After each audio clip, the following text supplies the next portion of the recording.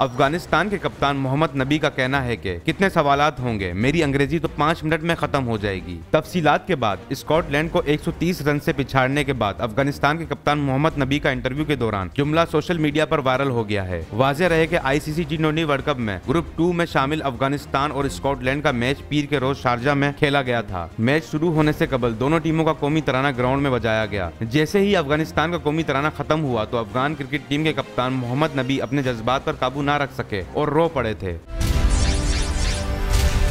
बोल ब्रीफ्स की वीडियो सबसे पहले देखने के लिए बोल ब्रीफ्स के चैनल को सब्सक्राइब करें और बेल आइकन पर क्लिक करना ना भूलें।